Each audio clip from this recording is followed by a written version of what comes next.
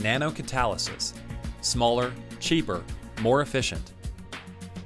Without catalysis, the world as we know it would not exist. Everything from digesting the food we eat to the refinement of gas for our cars requires catalysts.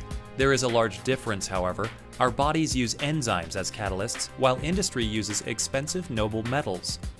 These expensive noble metal catalysts are not only used in the production of gasoline, they're also used in the catalytic converters of our cars to help them burn cleaner, in newer clean energy sources such as hydrogen fuel cells, in the manufacturing of foods such as margarine, and in the creation of life-saving medicines.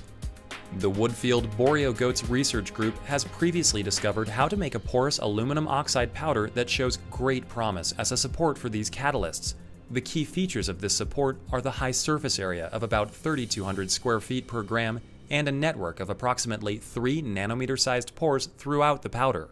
Under the direction of Dr. Brian Woodfield, David Selk is currently working to take these porous supports and fill these pores, which are 30,000 times smaller than a human hair, with expensive catalytic metals such as palladium and platinum. This is being done efficiently and cheaply by using all of the platinum and palladium possible. In this type of metallic catalysis, only the atoms on the surface that are exposed to a reaction are useful. By using nano-sized engineering, Selk and Woodfield are working on putting 1 nanometer crystals of these metals into the pores of the support, which allow for the efficient use of virtually every individual atom of these highly expensive materials.